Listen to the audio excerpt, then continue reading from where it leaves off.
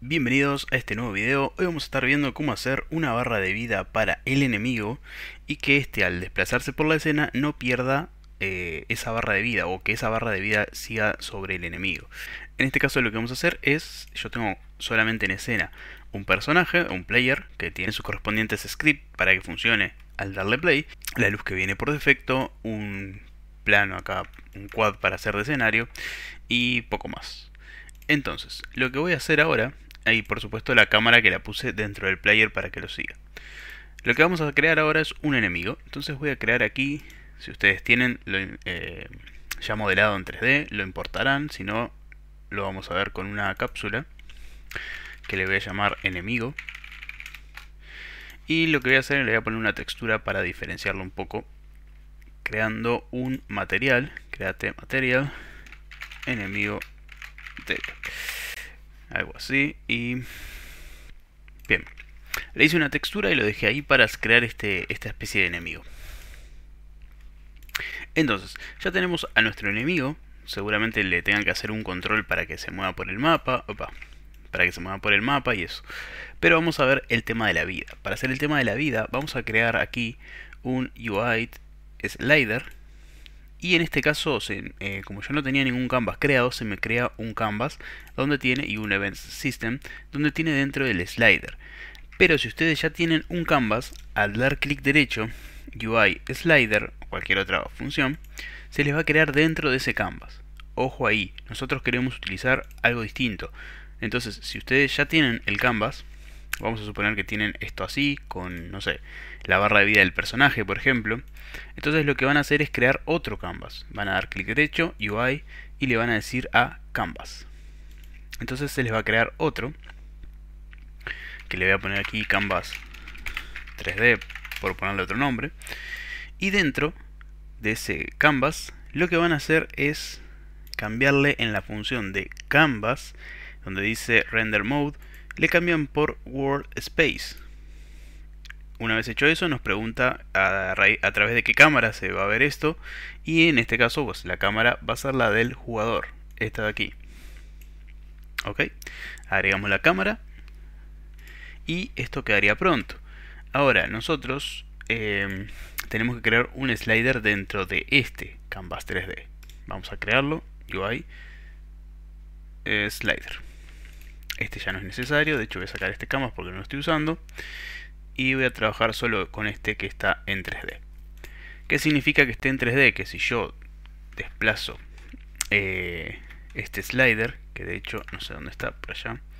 Como ven lo puedo desplazar en cualquiera de los ejes y está en 3D.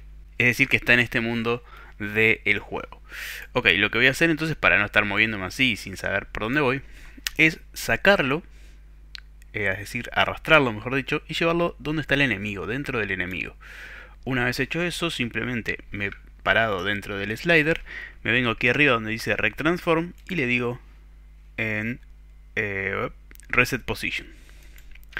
De esta manera, si yo me acerco al enemigo, bueno, igual esto va a estar súper enorme. Eh, volvemos a sacar el slider y lo volvemos a poner dentro del canvas 3D y como ven la barra ahora está donde está el enemigo. Gigante, sí, pero eso lo modificamos fácil desde la escala. Le vamos a cambiar la escala a 0.05.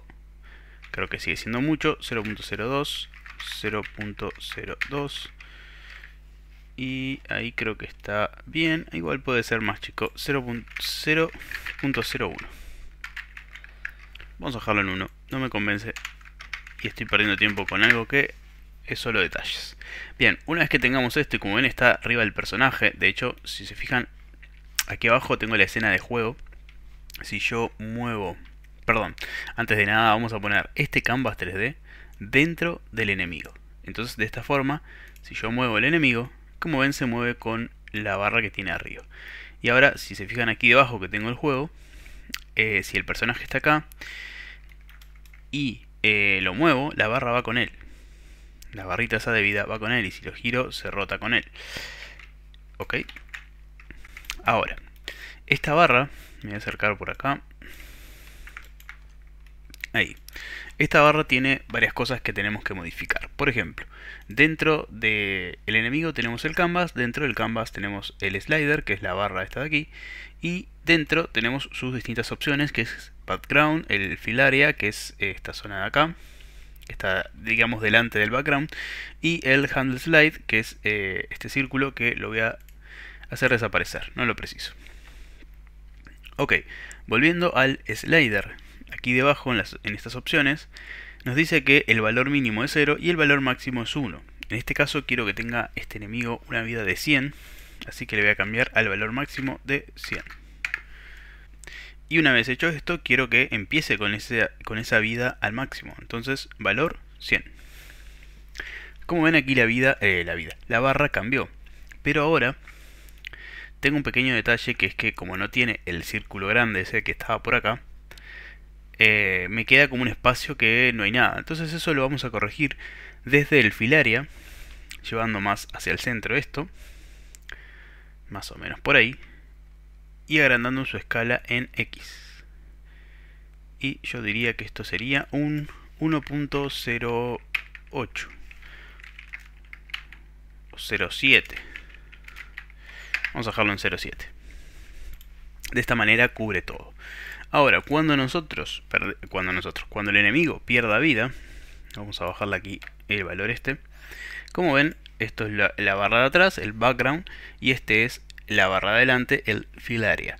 Vamos a ir al background y le vamos a cambiar este color por algo más oscuro, algo así, quizás eh, negro no me gustó mucho, así que un color así está bastante bien. Eso es a elección de ustedes nomás. Luego, en el fill area vamos a eh, entrar dentro del fill aquí tenemos una pequeña flechita, le damos ahí y el fill lo cambiamos aquí en color por el color que quieran darle. En mi caso le voy a dar una especie de rojo, así que va a ser pues, por acá más o menos. Ahí está bien. Ok, volvemos a acomodar esto, volvemos al slider y nos vamos aquí y le volvemos a subir la vida. Esto lo que va a hacer es que cada vez que pierda vida va a estar haciendo esto. Y recuerden que el enemigo siempre se puede mover con, con esa vida o esa barra de vida sobre él.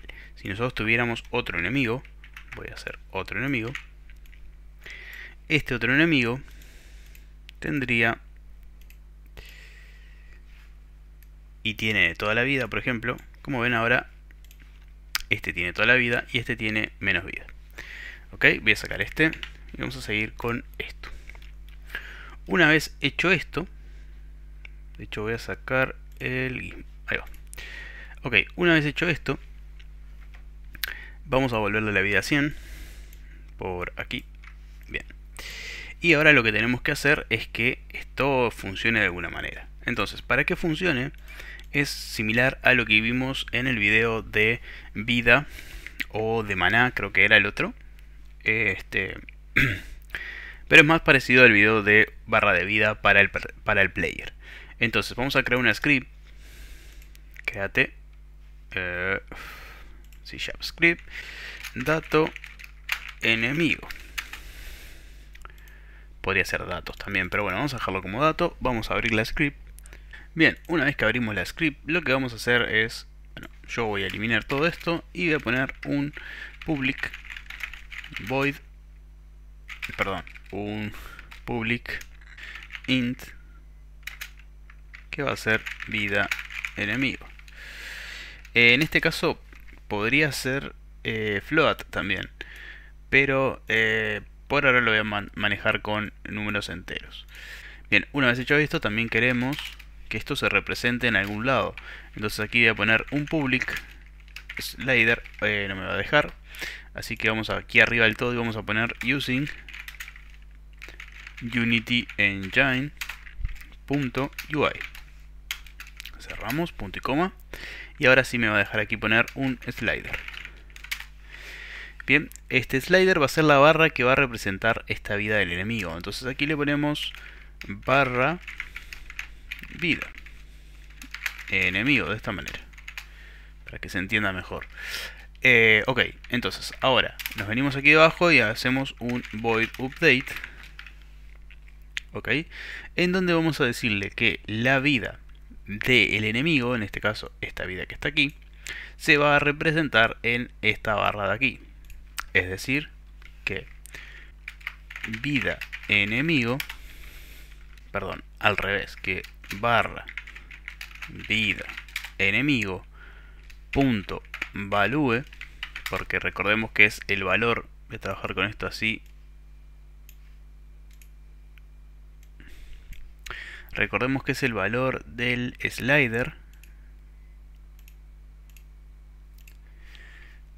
aquí, un poco más abajo, ahí, bien, recordemos que es este el valor el que estamos, eh, con el que estamos trabajando, entonces aquí le decimos que la barra vida enemigo, que es este slider, punto valor, value, que es esto de aquí, va a ser igual, es igual a la vida enemigo, vida enemigo.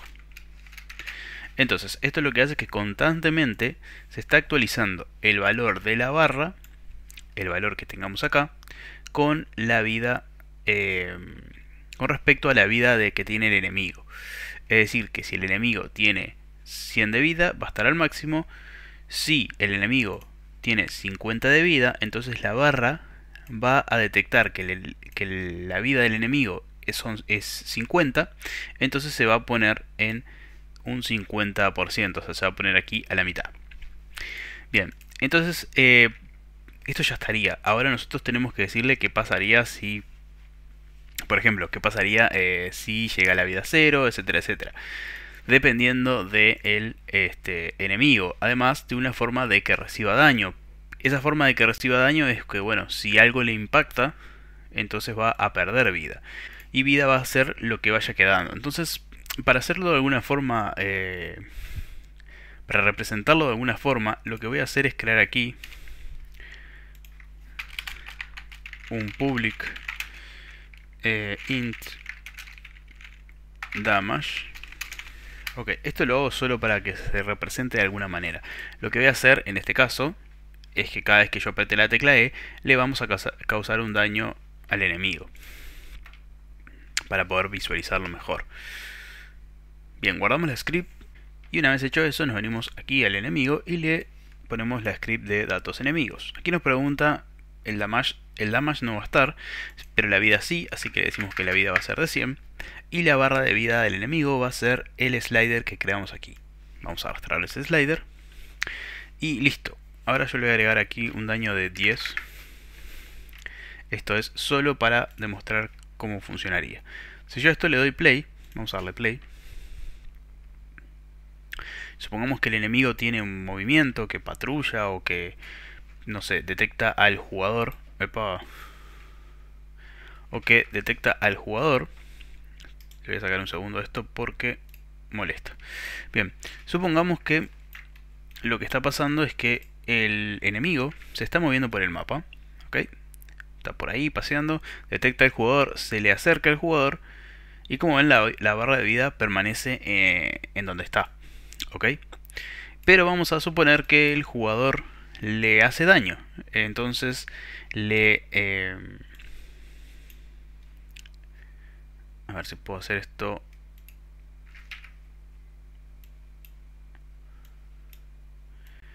Más chico ahí que no moleste. Ok, supongamos que...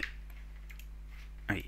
Supongamos que le hace daño, entonces, como ven, le baja la eh, vida. Me voy a acercar más.